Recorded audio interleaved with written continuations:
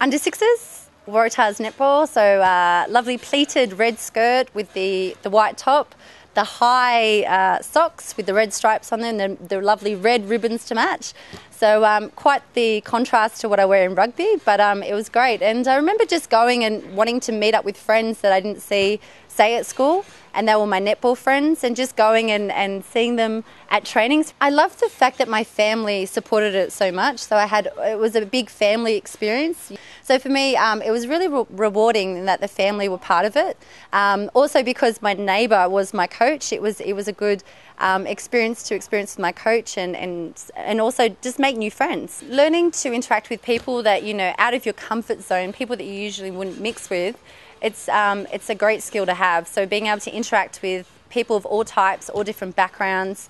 Um, you know, learning new things about new people that you know they come from different cultural backgrounds. I developed many um, skills. So for me, I developed um, to be dedicated. You know, if I, said to my parents, I want to do little athletics, every Saturday they were dropping me and I was doing little athletics, regardless of how I felt. So for me, it gave me dedication. It also gave me motiv- uh, motivation to want to try and better myself, whether it be at little athletics when I'm trying to better the time that I got last week. Um, for me, it gave me confidence you know that I could I, I had self-belief and self-worth in everything that I was doing. So for me sport has given me so much more from the age of six when you don't even realize that you're developing these skills to now a grown adult.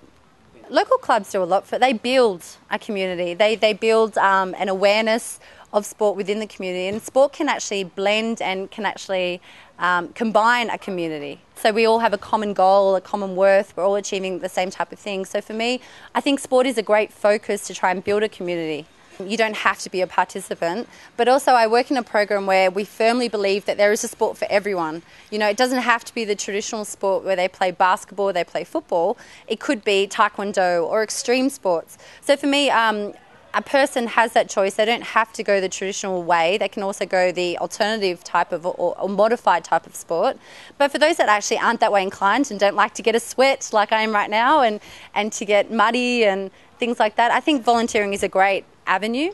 Um, a lot of sport does not operate without volunteers, particularly in women in sport. Like we, we are heavily reliant on our coaches volunteering, um, our management, all sport administration, all being done via volunteers. So for me, I think there's an avenue for everyone if they're really passionate about sport.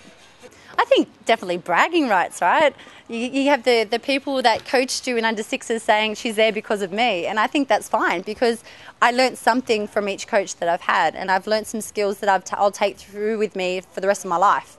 So for me, um, definitely there would be a um, self satisfaction for each coach that's coached me, knowing that I'm at the level I am because they've given something to me.